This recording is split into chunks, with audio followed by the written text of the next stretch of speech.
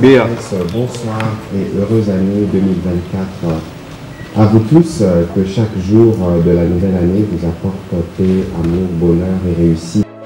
Évidemment que nous avons euh, salué la publication dans les délais convenus par la Commission électorale nationale indépendante des résultats provisoires de l'élection présidentielle. le gouvernement a félicité le peuple congolais pour sa participation au processus électoral et sa maturité en ayant choisi librement son président de la République au cours des scrutins du 20 décembre 2023. Nous avons aussi euh, félicité la commission électorale indépendante qui, malgré les énormes défis et les différents challenges à relever le pari de la tenue des élections libres, démocratiques, transparentes, inclusives et apaisées et dans les délais constitutionnels. En attendant la proclamation des résultats définitifs par la Cour constitutionnelle, le gouvernement a félicité le président de la République, chef de l'État, pour sa brillante élection. Et par la même occasion, le gouvernement a salué la participation sans aucune forme d'exclusion de tous les autres candidats à la présidentielle de 2023. Il encourage les différents candidats lésés à recourir aux voies légales pour toute contestation éventuelle des résultats. Nous avons noté aussi avec euh, satisfaction l'engagement de la Commission électorale nationale indépendante à traiter tous les cas litigieux qui ont fait l'objet des dénonciations durant les processus en cours.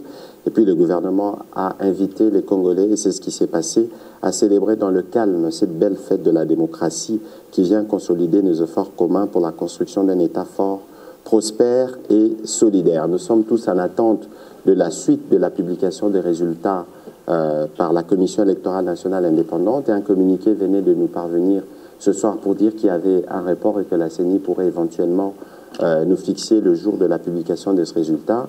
C'est compréhensible parce que vous avez suivi qu'il y a un besoin aujourd'hui au sein de l'opinion euh, d'évacuer tous les cas litigés qui ont été relevés ça et là à travers la République, mais des cas qui ne pourront nullement impacter les résultats finaux de l'élection présidentielle. Nous sommes en train progressivement de consolider la marche vers notre démocratie.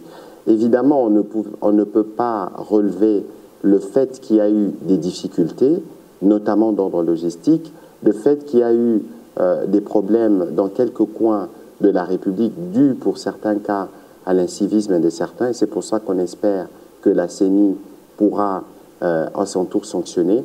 Mais vous avez vu qu'il y a eu une grande mobilisation, y compris de vous les médias, dans la couverture de cette campagne et de toute euh, cette question électorale. Pour nous, euh, comme gouvernement, nous sommes fiers d'avoir coécrit l'histoire avec toutes les parties prenantes de la CENI, l'histoire de cette élection qui consacre pour la première fois dans l'histoire un plébiscite, euh, parce que le président de la République a été élu à 73%, il a été élu par tous les Congolais de tous les quatre coins de la République euh, démocratique du Congo. C'est un scrutin qui finalement avait des allures des référendums. Et nous encourageons ceux qui contestent à utiliser les voies légales, justement, pour nous permettre de faire croître notre démocratie, parce que le champion de la rue est connu, il s'appelle Félix-Antoine Tshisekedi Chilombo.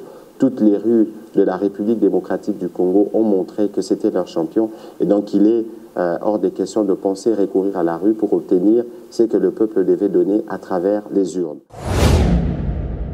Vous savez que l'Union européenne est une institution partenaire, il n'y a pas un mois et d'ailleurs, euh, il n'y a pas un ou deux mois, le Premier ministre était parti avec plusieurs collègues du gouvernement participer à une grande euh, conférence de l'Union européenne. Il y représentait le président de la République. Donc il n'y a pas euh, des nuages entre nous et l'Union européenne. Il peut y avoir des questions, notamment lorsqu'il s'est la, du déploiement de la mission d'observation. Il y a des questions, des détails qui doivent être fixés avec des services. Et lorsque ces détails ne se font pas ou ne se font pas dans le temps convenu, ça peut avoir des conséquences, mais il y a, à mon avis, pas de matière à dramatiser sur toutes ces choses.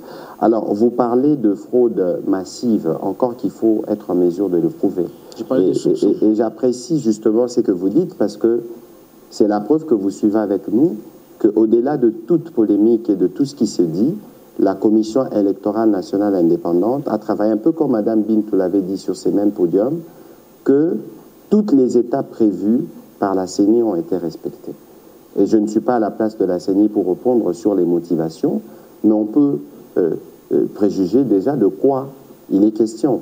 Parce que nous sommes dans une élection à seuil, que ce soit au niveau national, que ce soit au niveau provincial. Il y a eu des soupçons, évidemment, de fraude, comme vous le dites, mais il y a eu des dénonciations qui ont été faites au niveau de la CENI où il existe une commission. Vous avez suivi que même nous, au niveau du gouvernement, on a bien accueilli l'idée pour la CENI de faire ces toilettages. Je pense que c'est temps d'être mis à contribution pour traiter les différents cas qui ont été observés. Là où il y a eu évidemment de flagrance, il y a, euh, dans ce que j'ai entendu de la CENI, qu'il y a même possibilité d'annuler certains scrutins dans certaines zones. D'abord, je constate que ce processus aura été inclusif. Comment? Tout le monde qui a déposé la candidature est allé aux élections. Rappelez-vous que ces opposants-là craignaient, disaient que certaines candidatures n'allaient pas être prises en compte, n'allaient pas passer les mailles d'abord de la CENI, ensuite les mailles de la Cour constitutionnelle. Mais ils sont, les mêmes opposants ont félicité et la CENI et la Cour constitutionnelle. Un très bon jeu. Et l'élection a eu lieu. La veille, pendant qu'on allait aux élections, ils étaient optimistes. Ils ont voté. Ça, devient comme une équipe de football. Les entraînements ont lieu. On est sur le terrain.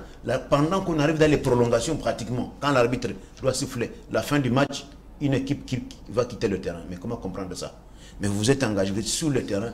De la même manière, vous avez félicité la CENI, vous avez félicité la Cour constitutionnelle pour avoir admis les candidatures des uns et des autres. À quoi vous ne croyez pas? Pourquoi ne pas aller jusqu'au bout? Mais qu'est-ce que nous constatons? Il s'agit tout simplement de mauvais perdants. Des mauvais perdants dans la mesure où ils sont rendus compte, oh là là, nous sommes perdants, qu'est-ce qu'il faut faire? Mais qu'est-ce qui est très important, et eh, madame? Tout ce qu'on fait comme politique, il est censé se faire au nom du peuple. Vous avez assisté lorsque Félix Antoine Tshisekedi est élu euh, lors du processus de 2018-2019, vous avez vu à travers le Congo tout entier, les populations sont descendues dans le rue pour exprimer leur joie. Vous avez vécu encore une fois lorsque Félix Antoine vient d'être réélu. Voyez-vous comment les populations, il a même, même, vous avez vu la marée humaine qu'il a drainée par surprise. On n'a pas invité les gens pour venir marcher avec lui, non. Par surprise, juste après la proclamation des résultats, une marée humaine vient, il marche à pied, juste dans, la grande artère. Kintambo est escorté par la, la, marée humaine vers la cité de l'Union africaine. Donc, le peuple, madame, s'est retrouvé à travers Antoine Tshisekedi. Et, et quand vous voyez, posez maintenant la, question, qui sont ces populations qui sont avec les opposants? Un pays, une nation va, va de l'avant lorsque donc en fonction du respect des, textes du pays. Une nation ne va pas de l'avant par les violations des textes du pays. Si tout le monde a déposé sa candidature, d'abord il y a eu l'enrôlement en vertu des textes, il y a eu les dépôts de candidatures en fonction des textes, on a battu campagne, la, campagne est régie par les textes, ainsi de suite. Maintenant, on sommes allés aux élections.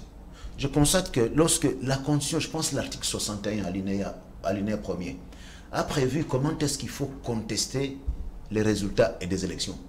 Ici, nous ne sommes pas dans, des marches d'ordre citoyenne où on s'exprime contre euh, la vie chère. Et, non, ici, nous sommes, c'est précis, la contestation des élections.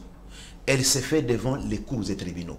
Et c'est comme ça, d'abord, quand vous parlez de ces opposants, madame, 26 candidats. Mais vous entendez les autres qui étaient à l'opposition qu'on fait son temps, dit reconnaître, le féliciter, dire nous reconnaissons notre défaite. Vous avez euh, l'ancien Premier ministre, euh, euh, l'ancien Premier ministre, voilà, Alof Mouzito qui a reconnu.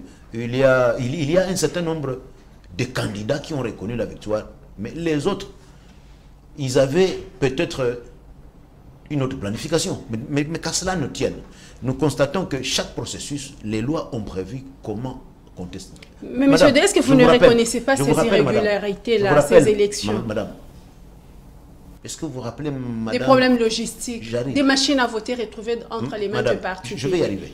Je vais y arriver. Je vous fais noter que c'est la première fois dans ce pays où on a vu la candidature d'un chef de l'État en fonction attaquée à la Cour constitutionnelle. On n'avait jamais vécu ça dans ce pays. Et ça, c'est la démocratie. Et Maintenant, les, toutes ces contestations-là, tout ce qui a été observé pendant les élections doit être conduit, cheminé devant les juges, la Cour constitutionnelle. C'est à elle maintenant de juger sur la régularité ou non. Une cour acquise à Félix Tshisekedi selon les opposants. Acquise, euh, alors, acquise à la cause de Félix Antoine Tshisekedi, mais Mais cette même cour a été félicitée pour avoir accepté les candidatures des uns et des autres, non? Voilà pourquoi il n'y a pas eu de dépôt. J'ai dit. Des contestations, la Cour n'a pas enregistré. Je dis, mais parce que c'est...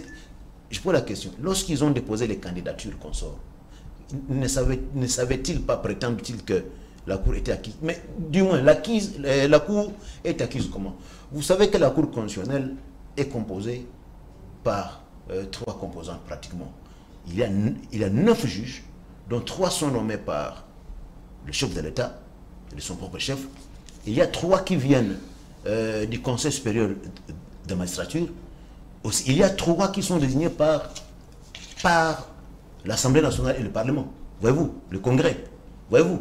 Donc vous ne pouvez pas dire que Félix Antoine dit c'est lui qui a, qui, qui a lui n'a désigné que trois. Mais les six autres viennent d'où? Des institutions. Ça veut dire quoi? Quand quelqu'un veut remettre en cause la Cour constitutionnelle, c'est qu'il remet en cause aussi le Parlement qui a engendré la Cour constitutionnelle, les trois, c'est qu'il remet en cause aussi euh, les conseils supérieurs de la magistrature, qui, qui, et qui a aussi donné trois. Et, là, on fait quoi? Là, on ne sait pas où est-ce qu'on est. Et ça veut dire, ce sont simplement des prétextes. L'on s'y croirait en pleine période coloniale dans cette école située dans la province des Maïndombe, mais nous sommes bel et bien en 21e siècle. Divisée en trois compartiments, l'école primaire Ebengotengo, située au village Tangakuboko à Inongo, ne dispose pas d'une infrastructure digne d'un établissement moderne en République démocratique du Congo. Les salles des classes sont essentiellement construites en chaume et des briques en terre cuite, des morceaux de bois tout droit venus de la forêt font office des bancs pupitres et une partie du tableau.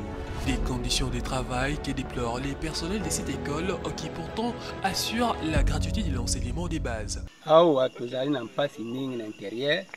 comme paiement eza kolega tozangi ata manzanza mpo toconstruire bandako bandako oyo ezali modele te bobongisi ebebi bobongisi ebebi batindela biso manzanza ka 200 tol mpo tobongisa tobandaka kobongisa mission na biso ezala badifficulté ebelebele balivre ezali te makambo ebelebe ezali te mpo badifficulté eza mingi mbongo eza komona te soki ekoki epai na bino pardon bino bato ya gouvernement. Bozala mokumba oyo bomema biso mpo tozomona ta mapolele ete tozali eh, kokanisa bango. Batima ya mpena mabe eza na difficulté ya batima na batole bon naloba tout partout. Moyika ya développement ekota na ekole ozanga makambo ebele Outre l'état de cette école, les enseignants qui y travaillent ne sont pas toujours mécanisés. tolingi bamécanisation baenseignant mingi bazali non mécanisé bon, esengeli mpe amécanise baenseignant oyo bazali kozwa mbongo te. Alors mpasi eleki mingi kosala mosala oyo ya enseignement primaire La construction d'un bâtiment moderne sera une solution salvatrice pour les enfants qui fréquentent cette école.